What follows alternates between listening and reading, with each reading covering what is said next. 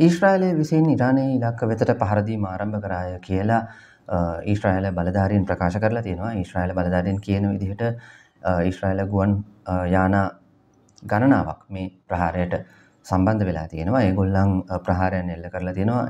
ඉරානය ඊශ්‍රායලය කියන්නේ තෙල් සහ න්‍යෂ්ටික ඉලක්ක වෙත පහරදීම් සිදුවනේ නැහැ කියලා බයින් ජනතිපතිවරට පොඩ්ඩකර සන්තෝස වෙන්න පුළන් එයා කියපු මොකක් හරි බෙන්ජමෙන් නැතිනයහු ඇහුවයි කියලා. මේ ප්‍රහාරය මං හිතන්නේ හමුදා ප්‍රධානී හර්චි හලේවි සහ ඊශ්‍රයිල ගුවන් හමුදාව ප්‍රධානී මේ ජනරල් තෝමර් බාර් කියන දෙන්න තමයි මූලික වශයෙන් අධීක්ෂණය කරලා තියෙන්නේ. ඒවගේම ඊශ්‍රයිලාගමැතිවරයා එතකොට ආරක්ෂ කැමතිවර ඇතුළු පිරිස මේ කීරයා මිලිටට පේස් එකේ ගොළඟි බංකරක ඉන්න අවස්ථාවක පින්තූරයකුත් දාලා තිබුණ ශ්‍රල මාධ්‍ය විසින්. කොහොම හරි මේ IDF එක සඳහන් කරන්නේ ඔවුන් ඊශ්‍රෑලය සහයි ජනතාව ආරක්ෂක ගැනීම සඳහා ඕනෑම ක්‍රියාමාර්ගයක් ගන්නවාය කියලා.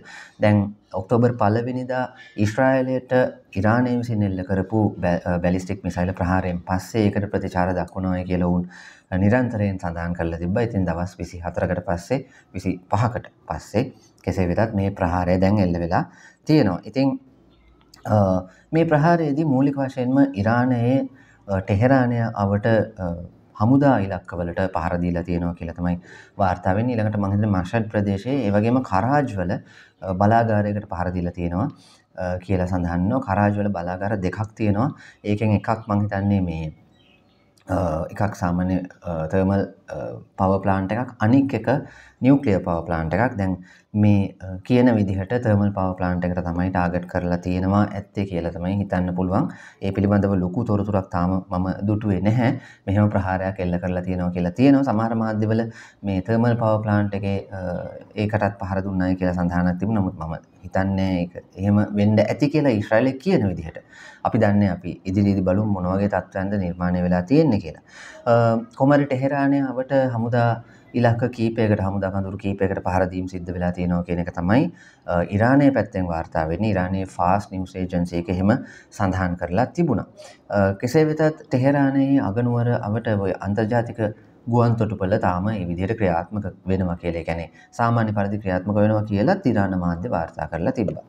මේ අතර සිරියාවෙත් දකුණු දිග සහ මධ්‍යම දිග සිරියාවේ ඉලක්ක කීපයකට පහරදීම් සිදු වෙලා තියෙනවා කියලා සිරියානු නිවුස් ඒජන්සි එක සිරියානු අරාබි නිවුස් ඒජන්සිය ප්‍රකාශ කරලා තිබුණා. ඒ පිළිබඳව වැඩිදුර තොරතුරු අනාවරණය වෙලා තිබුණේ නැහැ.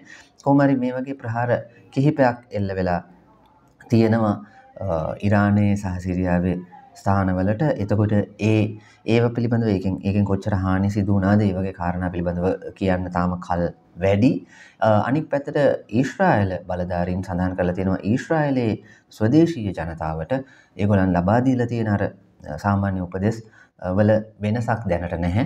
ඒ කියන්නේ දැන් මේ වගේ ප්‍රහාරයක් එල්ලුනම අනිත් පැත්තට ප්‍රතිචාර දක්වයි කියන බලාපොරොත්තුවෙන් එහෙම නැත්නම් ඒ අවදානම නිසා.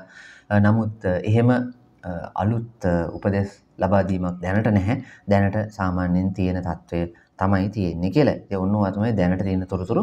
අපි පස්සේ මේ ගැන අලුත් තොරතුරු ලැබුණම ඒ ගැන සාකච්ඡා කරමු.